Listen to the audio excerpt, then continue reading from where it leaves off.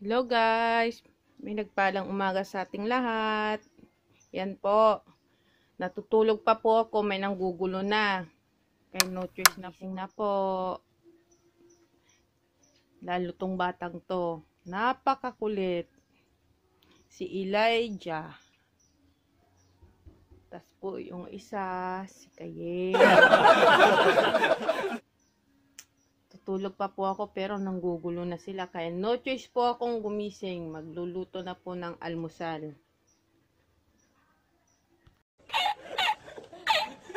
Ha